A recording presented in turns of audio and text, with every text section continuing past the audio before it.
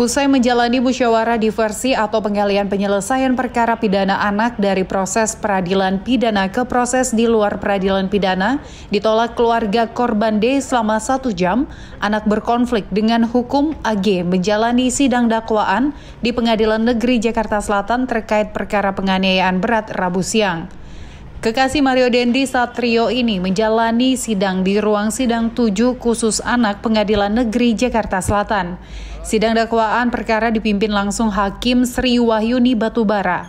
Humas Pengadilan Negeri Jakarta Selatan Juyamto menjelaskan musyawarah diversi yang dihadiri antara kedua belah pihak berlanjut ke persidangan dikarenakan pihak korban menolak diversi atau memilih untuk melanjutkan kasus ke ranah persidangan sesuai dengan ketentuan undang-undang apabila diversi e, gagal maka dilanjutkan dengan proses persidangan.